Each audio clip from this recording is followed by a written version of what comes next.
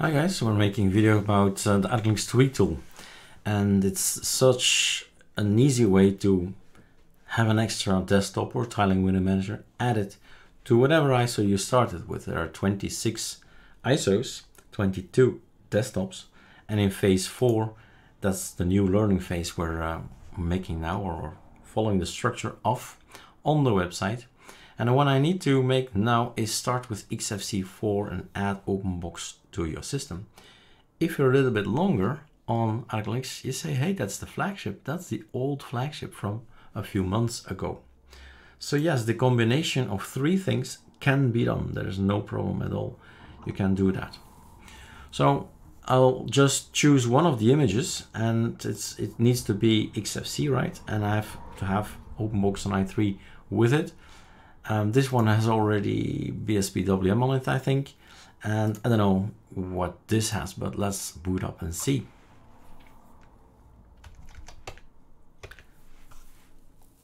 So the point is to make the old flagship back. So in the, the old path, the learning path, we said, look, install XFCE OpenBox i3 and try to learn XFCE, which looks awesome. And this is the new look. This has been achieved by writing away config files and where are they written away in the computer file system personal. And all I do is do a control alt T and I type personal in. And that's a new alias that we have. And everything that's in this particular folder is going to be overwritten. Some kind of like a skel if you already know what skel is. Basically it you overwrite your configs well the ArcoLinux configs with your configs you need to put them here. And that's all in the idea of we need to start building ISOs. And then when you do a clean installation afterwards, you just have a small command to type and there you go. So it's this all of this. I mean, if it's uh, you say what is that? It's all explained. So have a look at the personal menu here in the ArcoLinux B. So that's a new edition, just a few days old. Super interesting. So that's why this look, that's why we have a different look of ArcoLinux. Because suddenly we, I as user, decide to have another look and say, never mind the ArcoLinux look, I'll create my own. And each time I can, can get it back by typing personal. I see I need to update. A red thing up there says update Erik. Okay, fine. Okay, just that. That'll be that. Oh yeah. What do we have? XD Oh, great. We just have XFCE on this machine. And the target is back to the flagship, the old flagship for that we had years, right? Control Alt E. It's a great combo to have XFCE, OpenBox and i3 and try to learn all of them. So OpenBox is here, install is there. We wait for the packages, everything should be working in the sense internet, you're connected and so on. Servers have been changed maybe. That's installed. NI3, one, two, three. You count the numbers, you can rewind. Done, it's installed, it's finished. It's just awesome.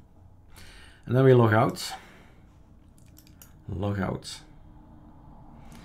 And we have here XFCE session, but also the open box and the i3 session.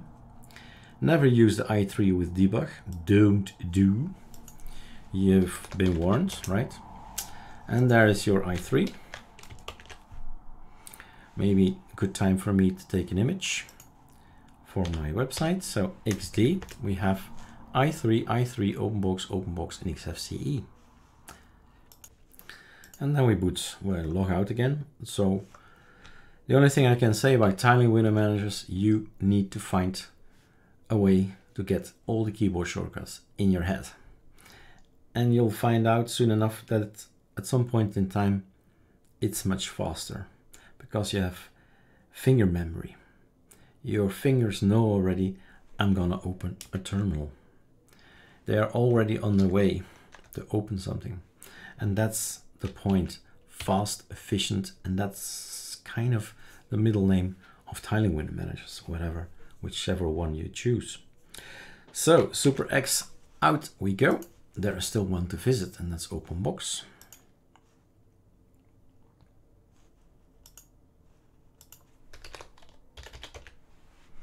And there we are. We have the menu, file managers.